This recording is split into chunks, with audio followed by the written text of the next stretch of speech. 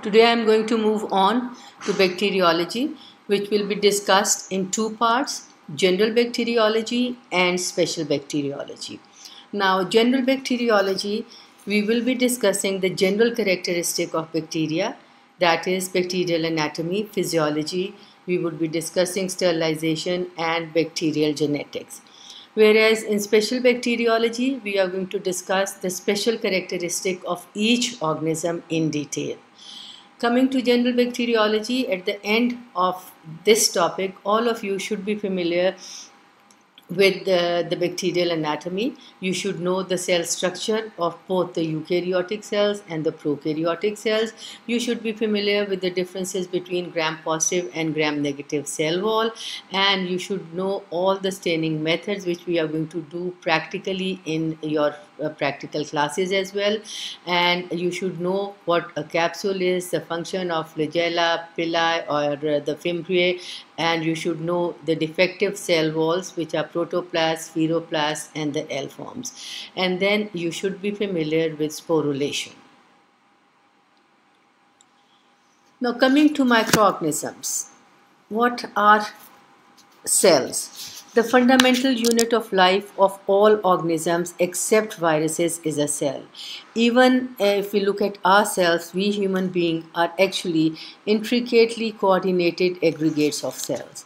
Microorganisms are generally unicellular and they are capable of performing all the functions which are required for its maintenance and propagations. In fact, all living cells share a biochemical likeness and uh, many of us, many of these cells are going to use the same chemical constituents to build up their structural component and the same genetic code to transmit hereditary information. Broadly speaking, these uh, microbes have been divided into two groups, the eukaryotic cells and the prokaryotic cells. And then we have a non-cellular group which are the viruses and we are going to discuss this in detail when we move on to the chapter on viruses. And generally viruses are defined as uh, uh, structures which are obligatory intracellular parasites not capable of independent existence. Now Eu means true and uh, karyoid is the nucleus. So eukaryotes are the ones that these are the cells which have a true nucleus surrounded by a nuclear membrane that separates it from the cytoplasmic contents of the cell. And this includes the protozoa, unicellular algae, fungi, and it also includes the animal cells, the plant cells, and the multicellular algae. Coming to the prokaryotes, which are the bacterial cells, and we are going to discuss this bacterial cell in detail because you know, need to know the anatomy of a bacterial cell before we move on to the special uh, bacteriology. So this picture is showing you basically the structure between the prokaryotes or the bacterial cell and the eukaryotic cells or let's take the example of human cells or plant cells. This is a prokaryotic cell if you look at the outer structure, this is the capsule. The outermost layer is the capsule. Beneath the capsule, this green is the cell wall. Now, cell wall is unique for the bacterial or the prokaryotic cell. It is never seen in the eukaryotic cells.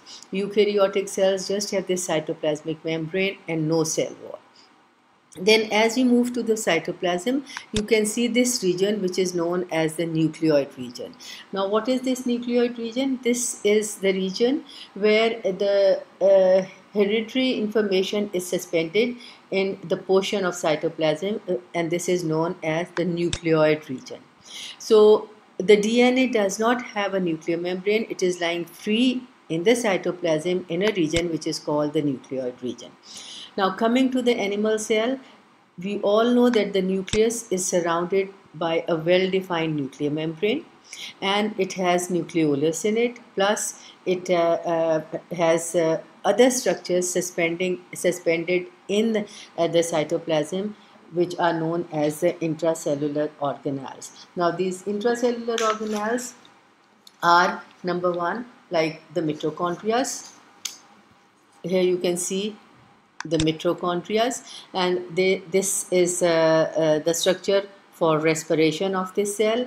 Then it has these stacks of membranous uh, uh, uh, tubes which are constitute the Golgi apparatus and this is the site where the uh, proteins or the enzymes which are produced by the ribosomes are collected and some of these are converted into lysosomes and then we have this endoplasmic reticulum which is uh, again uh, it's basically internal membrane network which extends throughout the cytoplasm from the outer membrane of uh, uh, to the nucleus. And it is going to increase the surface area of the cell enabling the material to reach all parts of the large uh, this eukaryotic cells and it also contains enzymes that are going to perform the various functions. Besides this it has ribosomes. Now both the eukaryotic cells and the prokaryotic cells have ribosomes but the size of these ribosomes is different. In case of eukaryotic cells it is 80s in size which means it is much bigger as compared to the 70s that you see in the prokaryotic cells um, these uh, ribosomes are the sites where proteins are synthesized and they may be found free in the cytoplasm and these uh, proteins will be used within the cell uh, by the cell.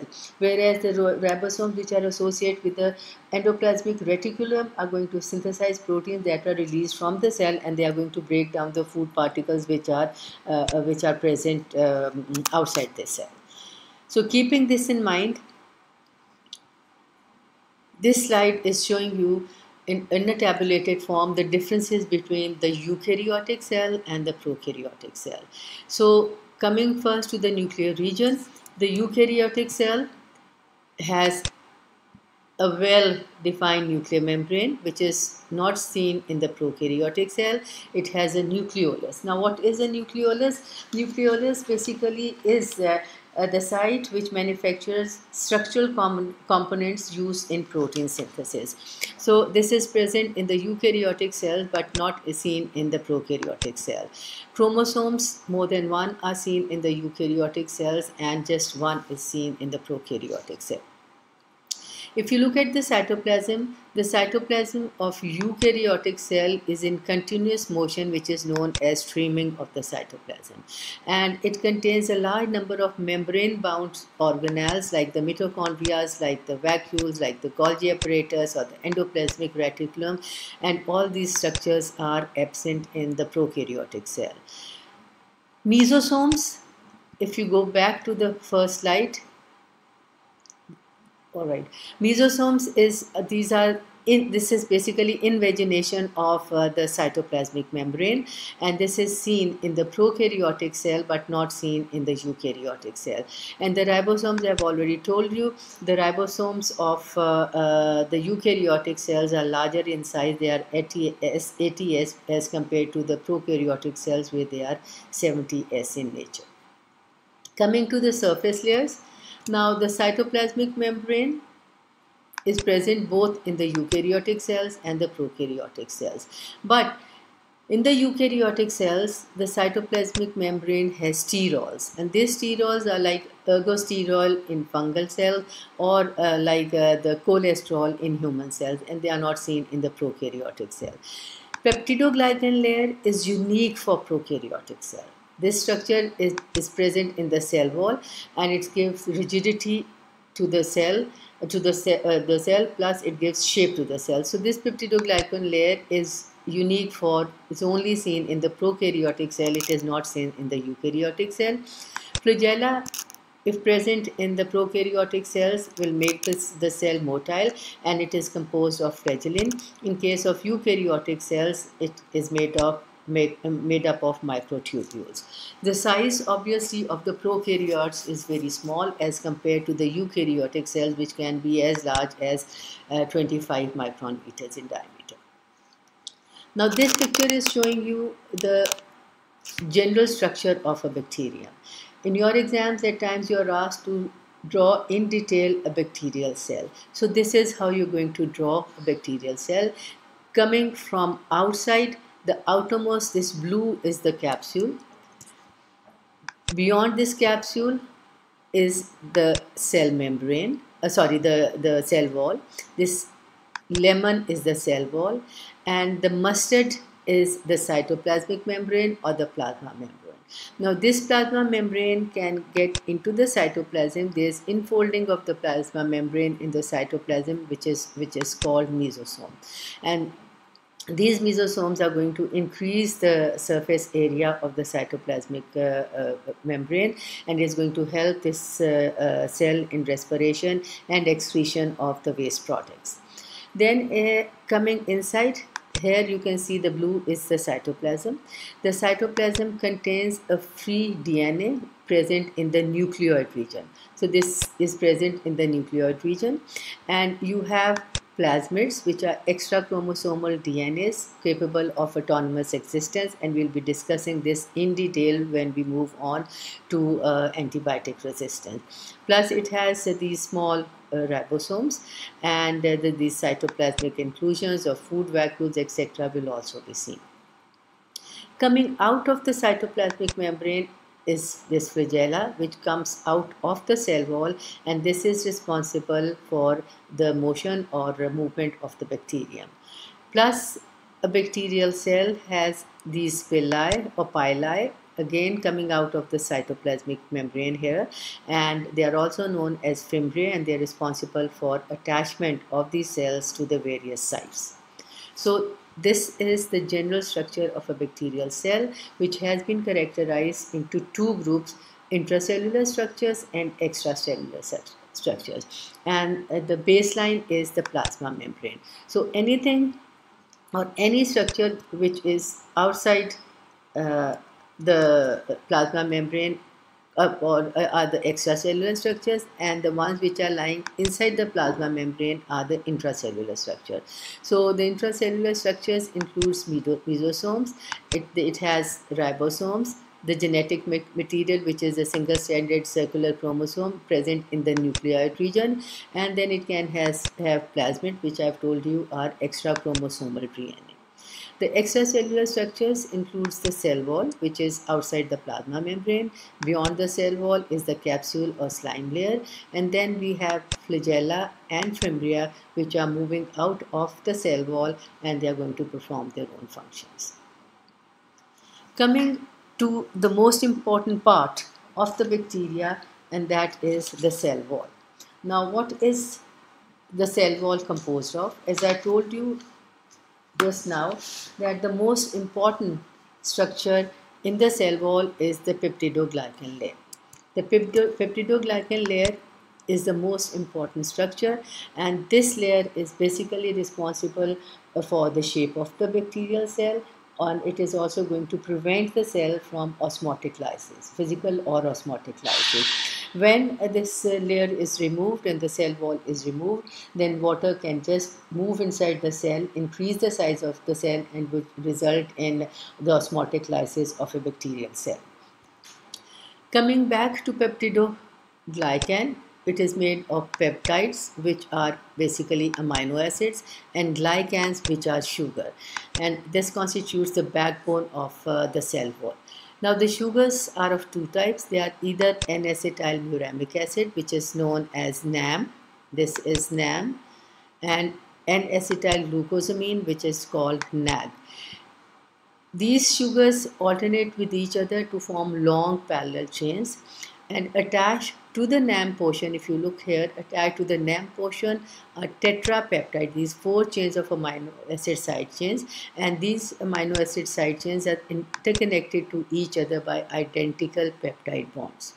Besides this, it is also attached to tetrapeptide or pentapeptide cross bridges and these cross bridges are going to connect the different layers of the peptidoglycan with each other. So the different layers are connected with each other. In other words, the peptidoglycan layer, the single layer of peptidoglycan layer is a network of adjacent sugar bound by amino acid uh, side chains.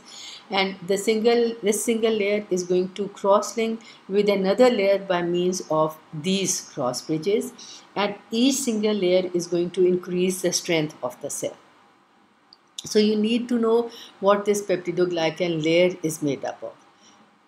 These are sugars alternating with each other and attached to the NAM portion are the tetrapeptide amino acid side chains or the pentapeptides cross bridges and these cross bridges are going to connect the different layers together and it is going to increase the strength of the cell. This is another picture showing you the structure of peptidoglycan layer.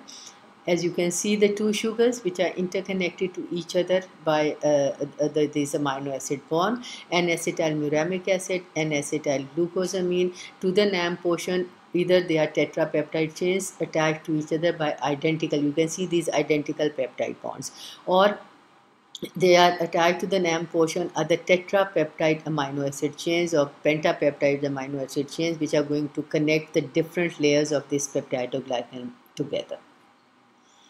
Again another slide just to make things clearer you can see these alternating sugars connected to each other by this uh, these amino acid you can see these amino acid bonds and um, these sugars are the same identical sugars now these sugar the the uh, the chains this the amino acid chains can lysozymes are going to act here and they are going to break down the beta 1 4 uh, uh, linkage which is present between the these uh, sugars so you can see these penta bridges and this is NAM and that is NAM no.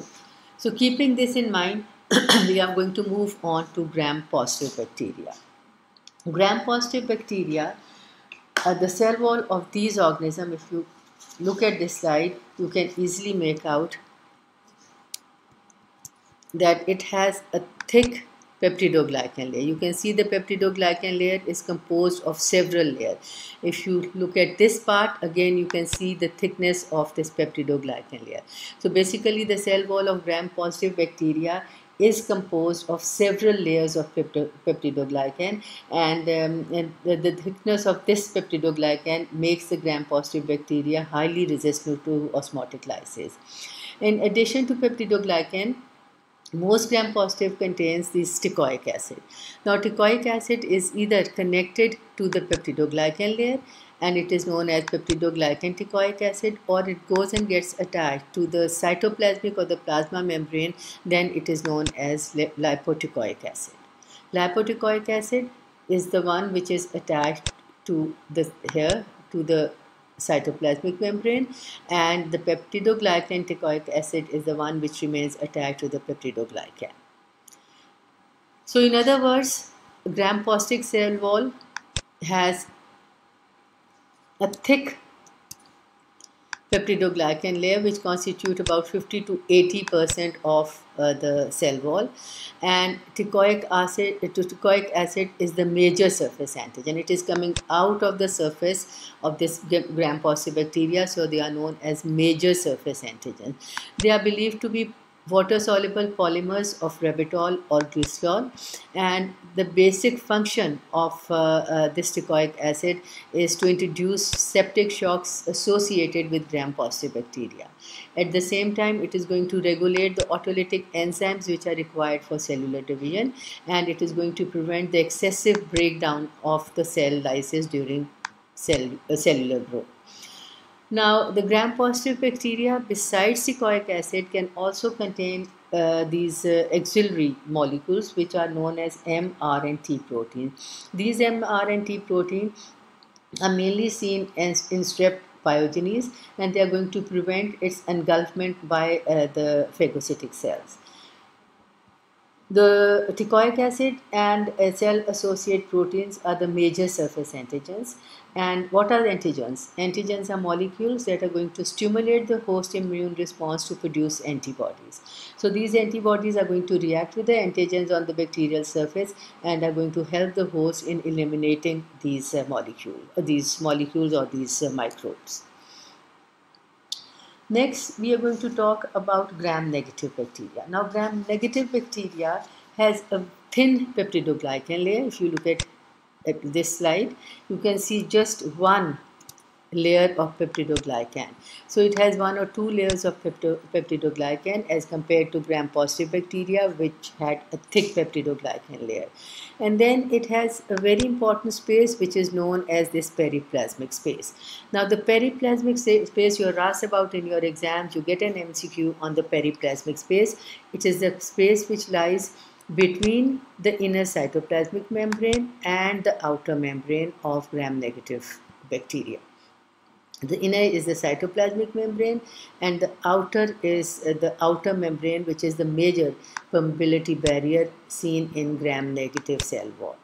So coming to uh, this periplasmic space, we know the boundaries now and this contains this peptidoglycan layer plus it is composed of or it contains degradative enzymes like the penicillin binding proteins etc and uh, mm, outside this periplasmic space is the outer membrane and the outer membrane is made up of lipopolysaccharides which means that it has lipids and it has polysaccharides now this portion which is coming out of the cell wall are the polysaccharides and the blue portion here is the lipid A.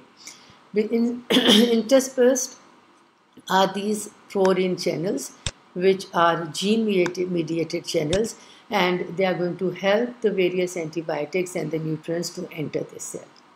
So this is the cell wall of gram-negative bacteria composed of periplasmic space and the outer membrane which is lipopolysaccharide. Now the lipopolysaccharide has three main regions.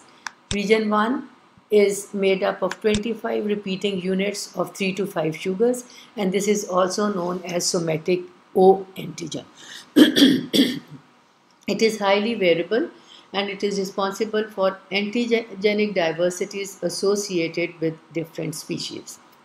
Then this is the middle region, region 2 which is known as the core polysaccharide and it is going to connect uh, region 1 with the third region and this third region is phospholipid called lipid A which is the most important region. It is an integral part of the bacterial gram negative cell wall and it is that is why it is also known as endotoxin. Endotoxins are the integral part of gram negative cell wall. You are asked about in your exams you get mcqs on this. And this is responsible for the endotoxic shock associated with gram negative bacteria so in your exams, in your table viva, you are asked to give the differences between the cell wall of gram-negative and gram-positive bacteria. The major difference is the thickness of the peptidoglycan layer. And then with gram-negative bacteria, as I've just told you, it has an outer membrane, which is the major permeability barrier. And then it has the periplasmic space, which is the space between the inner and outer membrane inner cytoplasmic membrane and the outer uh, major permeability membrane and it is going to store the enzymes like penicillin binding proteins and it also has the single or two layer of peptidoglycan. Whereas gram-positive bacteria lack these two things. It does not have outer membrane and periplasmic space. It just has teichoic acid. this slide is showing you the difference between bacterial cell wall, both gram positive and gram negative. In your exams, you are asked to draw the cell wall of gram positive and gram negative bacteria. So this is how you're going to draw them. This is gram positive bacteria. Cytoplasmic membrane is the same in both gram positive and gram negative bacteria. Phospholipid bilayer is the same and with gram positive bacteria it has thick peptidoglycan layer. With gram-negative bacteria, it has a very thin peptidoglycan layer. Then with gram-positive bacteria, they could there is teichoic acid which can be attached to the cytoplasmic membrane. Then they are known as lipoteichoic acid, or they're going to get attached simply to the cell peptidoglycan layer or, of the cell wall, and they are known as peptidoglycan teichoic acid. If you come to the gram-negative bacteria, it has this well-defined periplasmic space which lies between the cytoplasmic membrane and the outer membrane. The outer membrane, you can see these uh, pore channels in the outer membrane, plus it has lipid A and coming out of the lipid A is the polysaccharide which is the O antigen responsible for its antigenic diversities and the lipid A is responsible for the endotoxic shock associated with this parasite, with the bacteria. Again another slide showing you the differences between gram positive and gram negative bacteria. Now when you are asked to tabulate the differences between gram positive and gram negative bacteria, this is how you're going to answer the question. Gram positive bacteria and gram negative bacteria. Thick peptidoglycan layer with gram negative bacteria, it is thin. 80% of the cell is made up of peptidoglycan layer, whereas in case of gram negative bacteria, it is just 5 to 10%. Teichoic acid is present in gram positive bacteria plus it can also have MR and T proteins but there is no lipopolysaccharide and there is no periplasmic space. On the other hand if you look at the gram negative bacteria it has a well-defined uh, lipopolysaccharide which is composed of uh, this uh, lipid A and the polysaccharides and plus it has the periplasmic space present in it.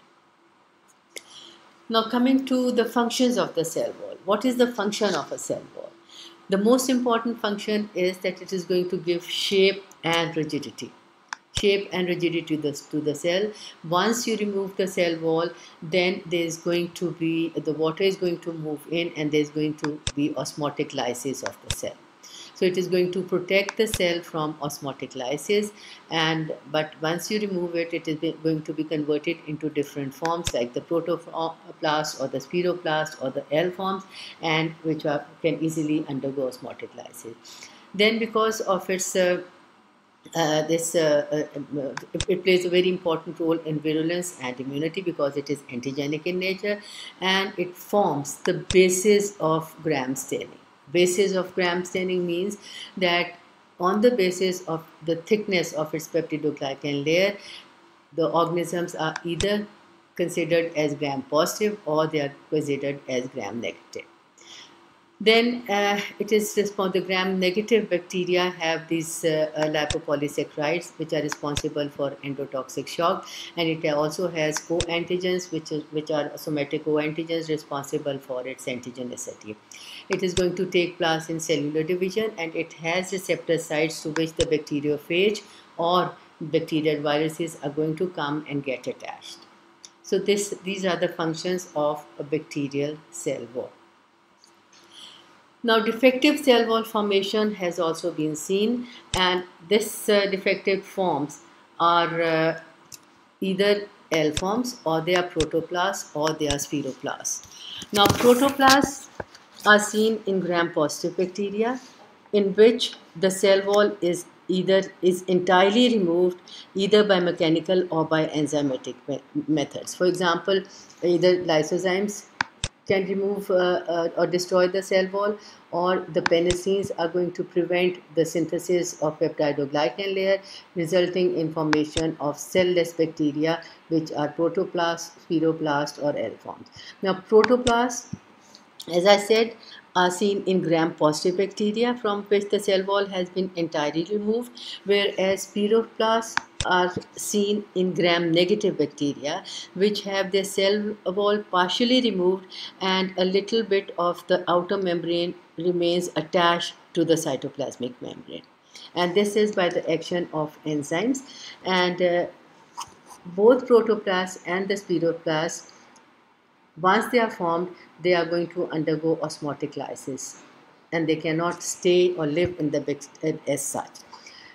Uh, on the other hand, uh, the L forms. The L forms were first discovered in the abscess of a patient in a Lister Institute of London and uh, they basically either develop spontaneously in the presence of penicillins that interfere with cell wall synthesis or uh, in the presence of lysozymes that are going to digest the disaccharides in the peptides. And um, once this uh, uh, they are removed, uh, the cell wall is removed, they are, uh, the L forms are going to take up the pink color or they become gram negative and they are of variable sizes and when the inhibitory substance is removed they can again develop their own cell wall. So they can still once they are formed they can still grow and divide. Whereas the spiroplast and the uh, protoplast cannot multiply. They are non-viable organisms that do not multiply. So you're going to get mcqs on l forms protoplast and the spiroplast that is why you should know what these uh, structures are. Then there is one bacteria which is normally or naturally wall-less and that is mycoplasma Mycoplasmas are naturally wall-less bacteria. You can see these organisms, they do not have a cell wall around them. They just have the, the, uh, the cytoplasmic membrane. And in the cytoplasmic membrane or the plasma membrane, it has these sterols. And they are capable of adopting parasitic existence in osmotically favorable environment and because there is no cell wall they are naturally resistant to all antibiotics that are going to target the cell wall. Again this constitutes one of your mcq mycoplasma is a naturally wall-less organism. Babes-Ernst granules or volutin granules are other structures which all of you should be familiar with. And these structures the other name from this is metachromatic granules. They are so called because they have the capability to stain different elements of a cell in different colors. Metachromatic granules are uh, uh, these are high energy reserves which are stored in the form of metaphosphates and they are used for ATP synthesis. Now if you look at this Albert stain or methylene blue stain Albert stain uh, these the, the metachromatic granules are with Albert-Stain they become deep purple in color and the bacteria remains green in color. So you see two colors, one which is picked up by the metachromatic granules and the second is the green color of uh, uh, the organism. Here is the methylene blue stain and you can make out the, these red metachromatic granules, the meta, red or dark uh, uh, this uh, bluish purple metachromatic granules whereas the organism remains purple in color. So these are metachromatic granules seen in Corynebacterium diphtheriae. Then we come to the cell wall of acid-fast bacilli or the best example of acid-fast bacilli is Mycobacterium tuberculosis. They are called acid-fast because they have a very thick waxy layer around it. This layer is a waxy layer which is seen around the cell cell wall of uh, these acid fast bacilli. And this uh, waxy layer is composed of mycolic acid and glycolipids. And these glycolipids and my, my, uh, mycolic acid are going to alter the staining properties of this organism. They are going to tightly get hold to the dye. Once you, once you start staining this, this organism the dye is held by uh, this uh, the waxy layer and it is going to resist decolorization by acids and alcohol. And that is why they are called acid fast bacilli. But in order for the stain to get inside the cell you have to heat the slide so that the stain can enter. When you heat the slide the mycolic acid or the waxy layer melts and the the dye then goes in gets tightly attached to this peptidoglycan mycolic acid layer and mm, it, and it is going to then resist decolorization by acid and alcohol. And it's going to pick up the counter stain which is cephalin for this uh, these organisms. So these are acid fast bacteria. The cell wall is different from that of gram positive and gram negative bacteria because it has mycolic acid and glycolipids which create a waxy layer around them. And this again constitutes one of your MCQs. So keeping all this in mind, this slide is showing you the different characteristics of gram-positive bacteria, gram-negative bacteria, and acid-fast bacteria. The first is the peptidoglycan, which I have told you with gram-positive bacteria, it is very thick, thin in gram-negative bacteria and very small of in uh, thin with acid fast bacilli. Teichoic acid, characteristic feature of gram-positive bacteria, not seen in gram-negative bacteria or acid fast bacilli. Lipids, thick lipid layer is seen with gram-negative bacteria and mycolic acid and other waxy, uh, uh, waxes and glycolipids are seen in acid-fast organism but you don't see them in gram-negative uh, positive bacteria. Outer membrane periplasmic space is unique for gram negative bacteria but not seen in gram positive bacteria or acid fast bacteria. Cell shape in case of because of the thick peptidoglycan layer it is always rigid. Enzymatic digestion results in gram positive uh, bacteria results in formation of protoplast with gram negative bacteria it results in formation of spheroplast but with the waxy layer acid fast bacteria are difficult to digest. So with this we have done with the cell wall of gram positive bacteria, gram negative bacteria, acid fast bacilli and uh, mm, for your assignment I have given you three MCQs which you generally see in your exams. So you have to answer the MCQs within 24 hours for your attendance. Thank you very much. So the general this, these are the three MCQs. Peptidoglycan layer is the major constituent of cell wall of which of the following organism, which of the following statement best describes a gram-negative bacteria, and the third is which of the following is a natural cell wall deficient organism.